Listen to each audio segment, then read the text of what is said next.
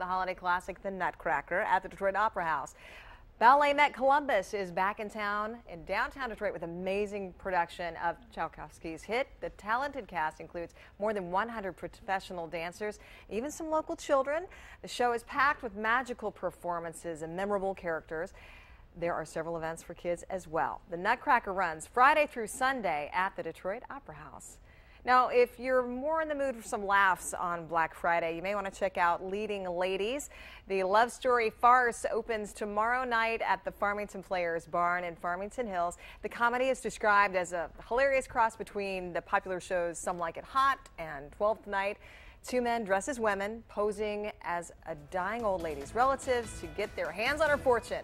Tickets are on sale right now, and we have a link for both shows on our website, WXYZ.com. We'll be back in a moment.